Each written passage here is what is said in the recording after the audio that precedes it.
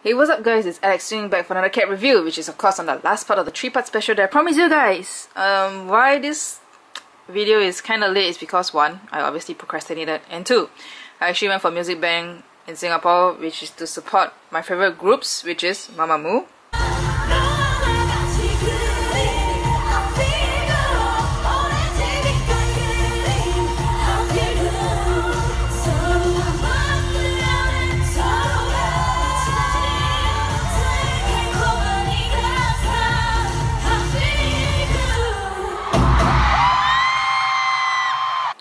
Red Velvet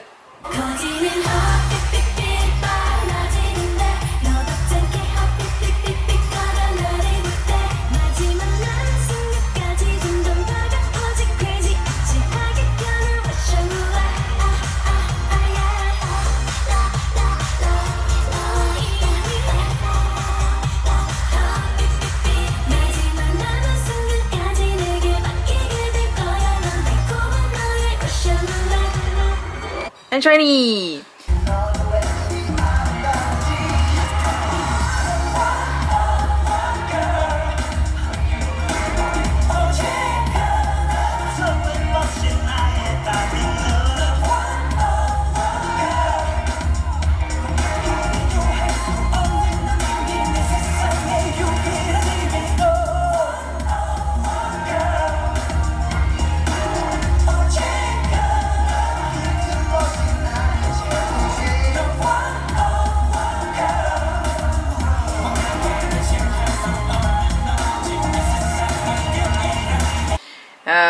You probably can see why I'm pretty distracted, right?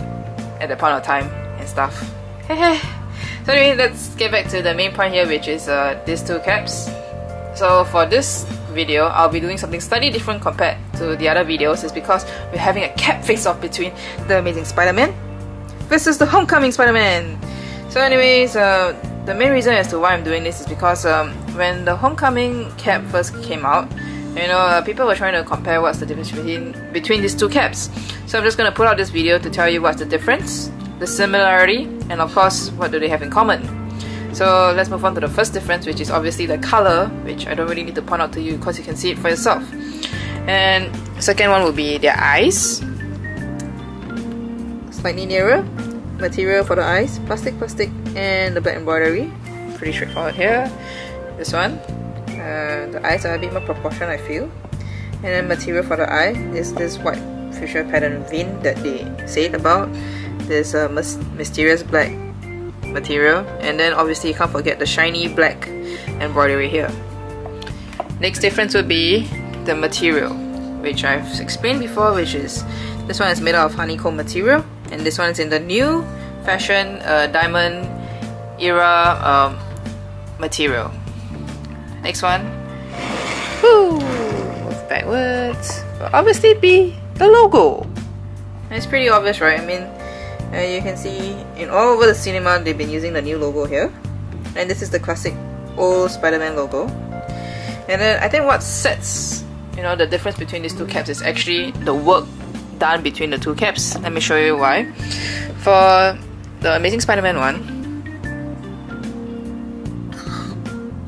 focus? Alright, here. The web that is all over the head feels like it's actually printed on instead of, uh, you know, embroidered on. And this one feels like, you know, it's just embroidered with not much effort made somehow or rather. Because I'll show you why as compared to the Amazing Spider-Man one here. Look at that beauty of the logo right here. You can see it like, you know, there's like some volume here. Let me show you this side. Look seems like it's jutting out, right?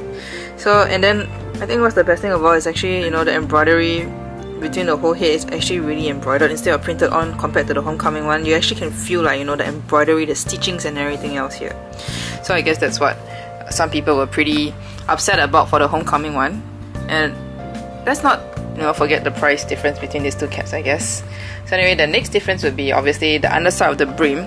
Um, basically, I think because um, when they first made the Amazing Spider-Man one, um, yeah, when they first made Amazing Spider-Man one, uh, it's pretty long ago, and then uh, at the point of time there was, it's not really kind of like you know the fashion to actually put like a artwork on the brim actually.